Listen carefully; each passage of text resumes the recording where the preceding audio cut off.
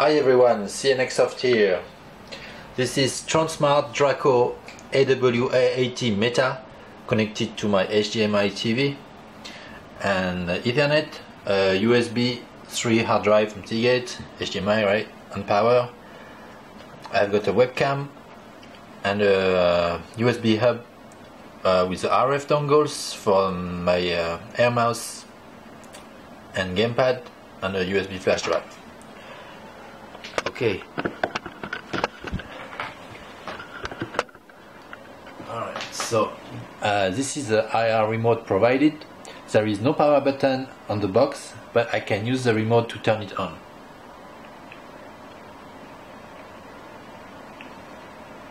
Okay, it's on now.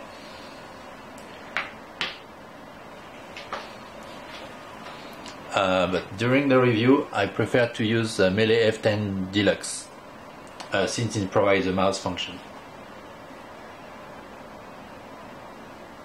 Uh, the boot time is not quite as fast as the Rockchip RK32 boxes. Mm, it takes about 45 seconds uh, and the, the best one I've tried until now takes 20 seconds. Okay, but it's just a detail.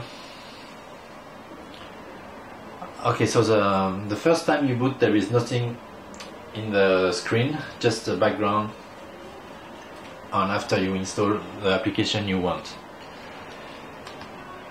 Okay, uh, one thing you cannot, the zone for icon is not on the full screen, right? You are limited to the area here. Alright, so let's go to the settings. This is Wi-Fi. Ethernet gigabit is working. Wi-Fi uh, 2.4 gigahertz, 5 gigahertz, including 802.11.ac are all working okay, as well as Bluetooth. Okay, get VPN and tethering. Uh, sound you can enable pass-through. I haven't tried. I don't still have don't have hardware, and you can select the your output mode. Uh, audio codec probably means PCM. HDMI probably means pass-through. HDMI on the last one is SPDIF pass-through. And the display. Alright, one one thing. Uh, by default, the font is normal, like this. Uh, it's nice if you use it as a PC, like you are very close from the screen. But if you use it from your sofa in your living room, maybe you are three meters, four meters from the TV, you should probably set to huge to see anything. And then there's something called HDMI full screen mode. I have no idea what it is. Maybe it's for tablets. Okay, on display output, uh, you've got 720p, 1080p, including 24 Hz and 4K, as well as composite, but I haven't tried since. In a recent survey, nobody used composite output. In the storage, it's a single partition, which is nice, uh, with 12 gigabytes in total out of the 16 uh, gigabyte of the eMMC. There are also some options here to scan media, but I, I don't know why it's used. Alright, languages. I guess this is the same for all Android media players or Android devices. I still go through in case your language is missing.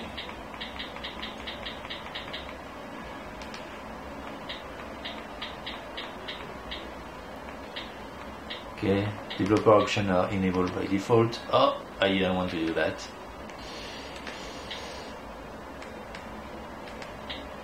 And about box is a Draco AW80 Android 4.4.2 with kernel version 3.439 built by somebody in Sunship apparently.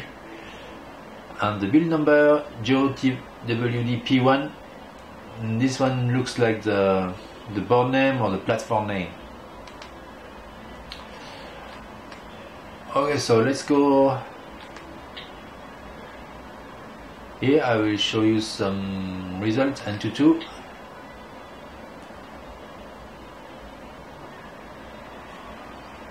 I get almost 50,000 points. Non-verified score 49657 I'll post the detail in the written review. CPU Z it finds 8 cores power VR, power VR GPU on here you can see the model. Number is Draco AW80 and the Joe TV DP1 comes again. Yeah the screen resolution in DP is also 1080p that's why the uh, the font is very small. So I'll just go through XBMC quickly.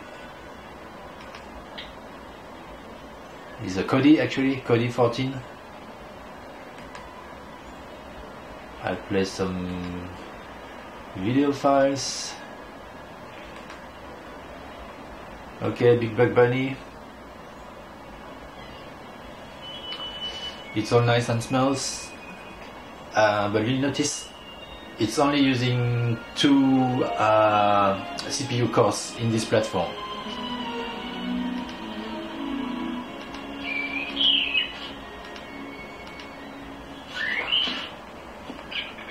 And in system info. Okay the UI is rendering slowly sometimes because I play video but most of the time at 60 frames per second on its Kodi 14 Alpha 3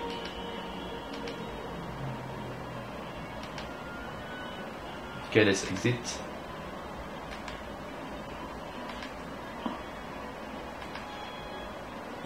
and uh, if you want to power off you can press the power button for one over one or two seconds and you press OK. And done. Okay thank you for watching. If you want more detail remember to read the review linked below. Thank you. Bye bye